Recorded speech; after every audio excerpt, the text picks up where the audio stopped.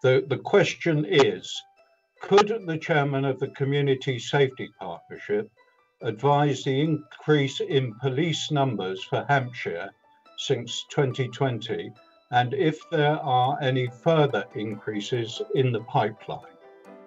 The answer is pre uplift March 2020, Hampshire police numbers stood at 2,607.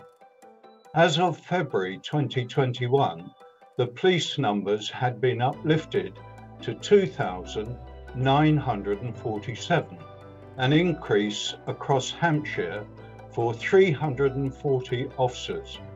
But these numbers are significantly exceeded as new recruits require training within local policing as a part of their learning journey.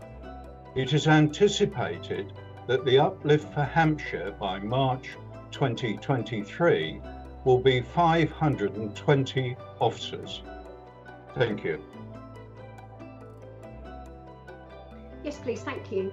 Um, so, with an increase of, you said 340 and up to 520, does he believe that there have been cuts in policing, as told by Peter Chegwyn's Liberal Democrat leaflet being distributed at this present time? No, there has not. Thank you.